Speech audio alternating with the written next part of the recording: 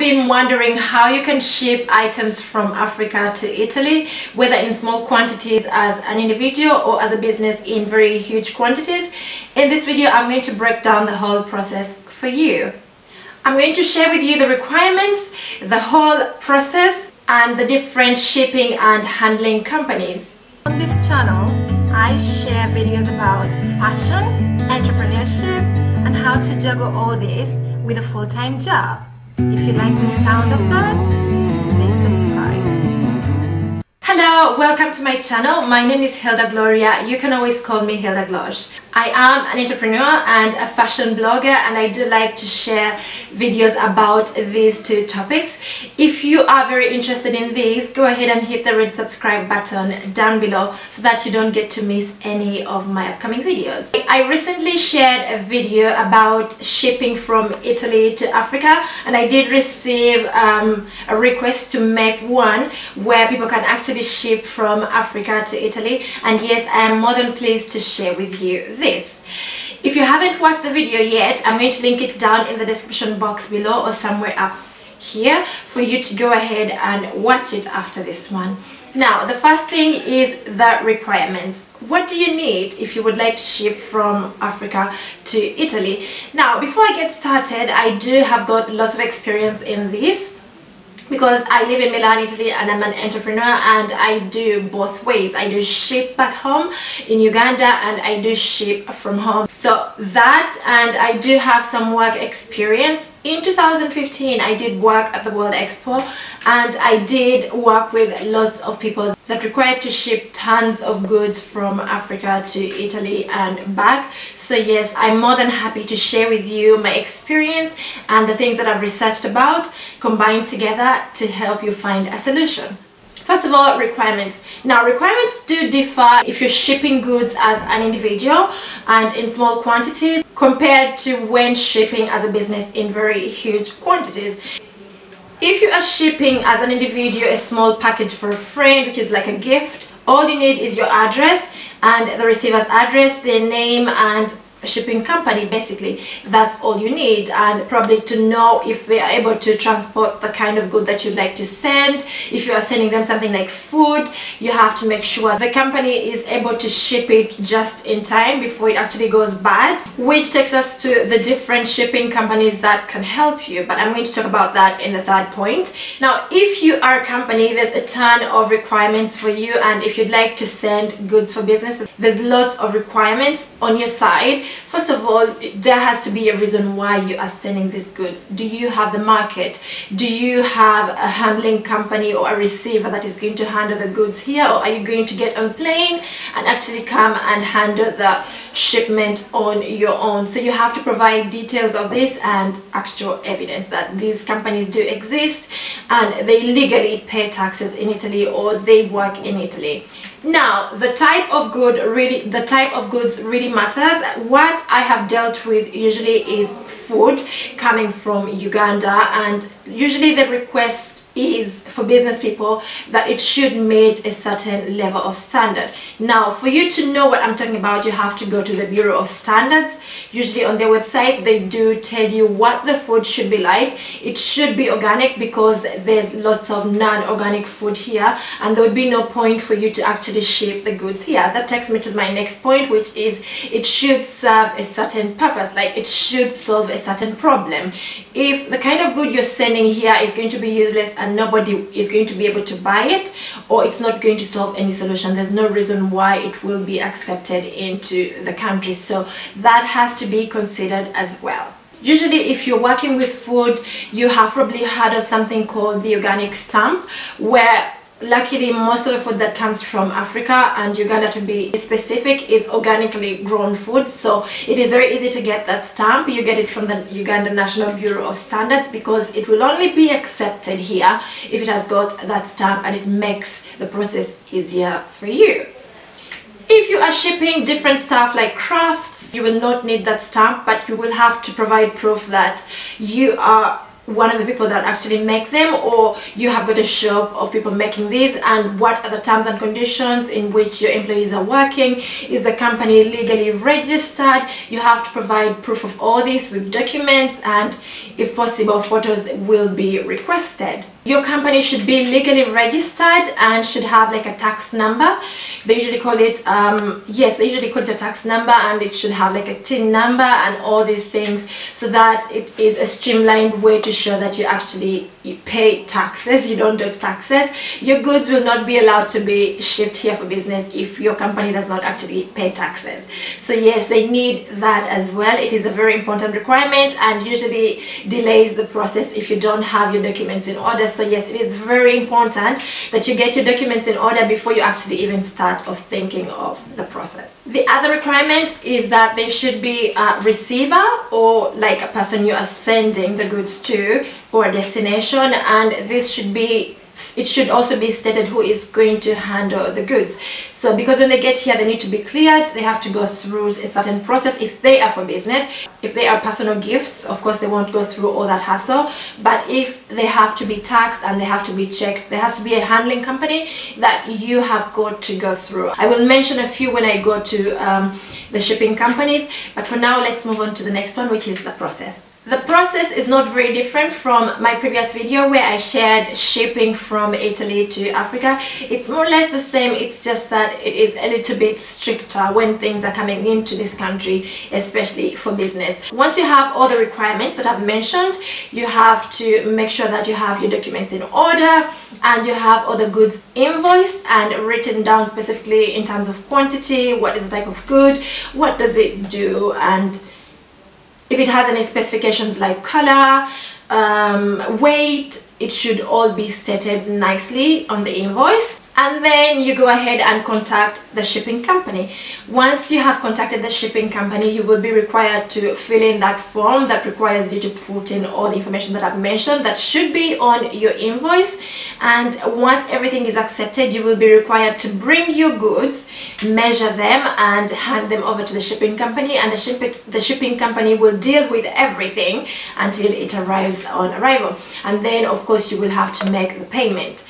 Now my advice is that you consult with different companies and then decide which one you would like to go for because the prices are really different depending on what you're sending, how much of it you are sending and how long the company takes to actually have the goods delivered.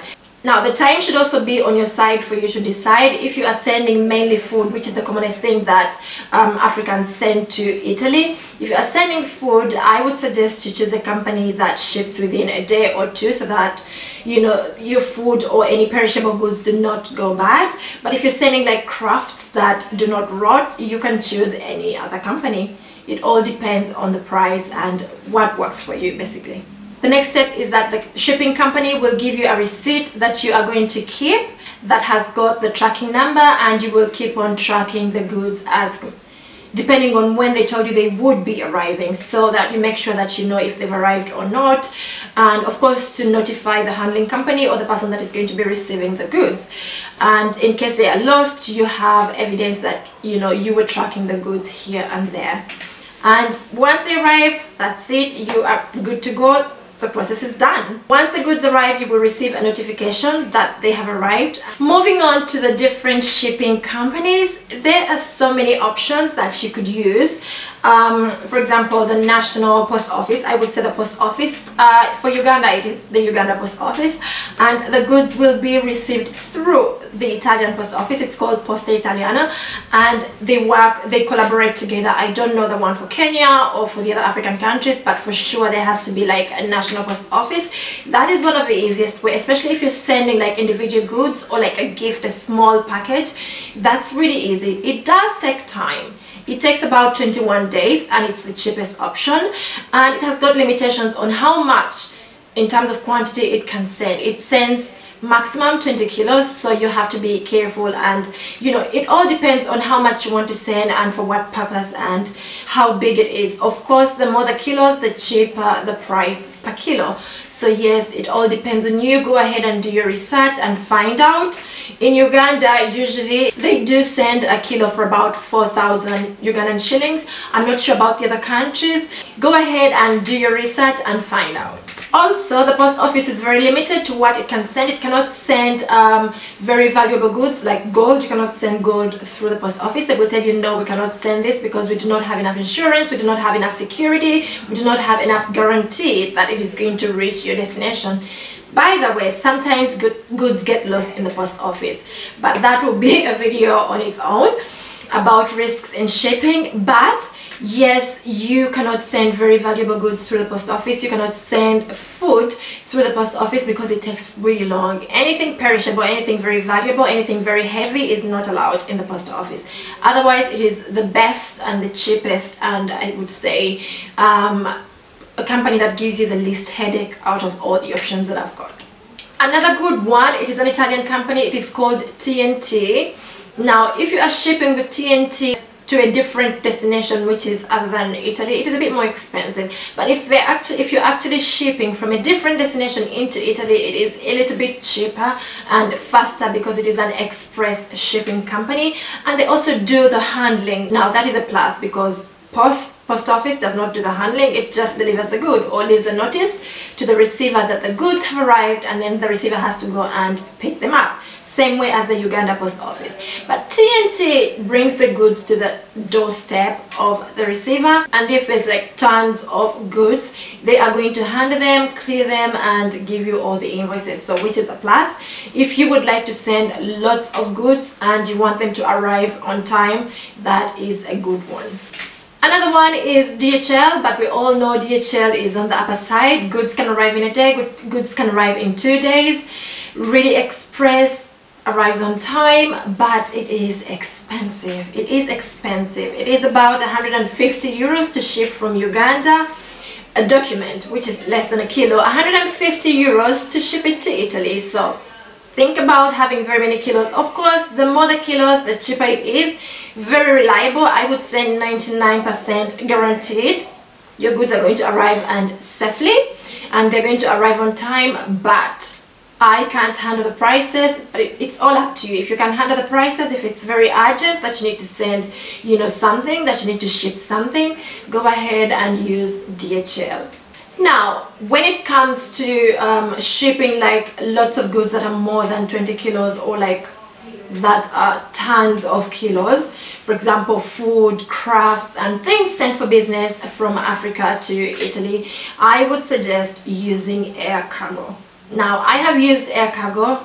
They gave me a lot of headache. Goods didn't arrive on time, like when I did expect them. The clearing process was very long, but the prices are really good. And it doesn't take that long. They didn't arrive on the night they were supposed to arrive. They arrived the night after. And I don't know, I did suffer a little bit, but they are a good one when it comes to price per kilo so yes go ahead and use them i have used ethiopian airlines they were good. I have used egypt air from uganda to italy. They were really good. I've used kenyan airways. Kenyan airways i lost a bag but they did deliver the rest. So yes compare the options and see what works for you. But they delivered more than a thousand kilos. So yes do consider them think about them and of course they know the standards being African Airlines, they do know the standards and they're able to advise you accordingly on what you need to do than when you go to like European or like foreign um, or non-African like airlines, I would say. So yes, do consider those. They do really help. If you need any information, just go online, check for, for example, Ethiopian Airlines cargo, air cargo and they will give you a lot of advice customer care you're going to ask lots of questions and they will let you know about every requirement their working hours when you can go when you can't go. They're really really helpful. So yes cargo air is really really helpful for lots of goods that will arrive early enough. I, early enough I mean four days uh, including handling. Now moving on to the slowest. And by slowest I mean more than a month um, we have got water cargo. Now water cargo is really cheap and it takes like containers that is tons and tons of kilos. And if you're not in a rush you could use it. But also you have to know that once the goods arrive they do not arrive in the city center. So they arrive at a certain port and then you have to pay for another company to do the clearing and it's a lot and they have to bring it to the city center where probably you have to receive them or somebody has to receive them. So it's a little bit of a hassle but you can get there. You know business people you have to take the risk you have to take the headache and go through it. You have to be strong. But yes i would suggest cargo for things like very heavy crafts like made of wood. Or what else do we export from uganda what else do we sell from uganda? Lots of heavy stuff that we could sell from africa to italy that are really really heavy. This option would be the best if you have a lot and you don't mind when they will arrive more than a month or a month somewhere in there and you can pay for a handling uh, a handling company to do the handling services for you once the goods arrive here. Now what handling companies am I talking about? We have got a lovely company here that I have worked with and I do guarantee they are a bit slow. They work in Italian so you have to suffer with the language. But it works magic. It is called DB Schenker they're not sponsoring this. I'm only mentioning them because they did a very good job. And yes they will handle the goods and um, make sure that they are actually delivered. Their trucks will bring the goods to where you would like them to be. So yes consider them I have got another one it's called MSC it is a nice one but those only deliver to a certain port and they would ask you if you'd like them to continue but of course they're going to outsource that to another handling company of which it is going to come at an added cost. So yes think about all these options and choose what company is best for you. I really cannot choose for you because I do not know what you're selling I do not know how much of it you would like to send. I don't know if you're sending just a gift, but I do hope that this video has been very helpful. If you think it can help someone, please share it. Leave me a comment down below if you would like me to make any other video or if you have anything to add or to ask about what I have mentioned in the video. Thank you so much for the support and I will see you in my next one. Bye!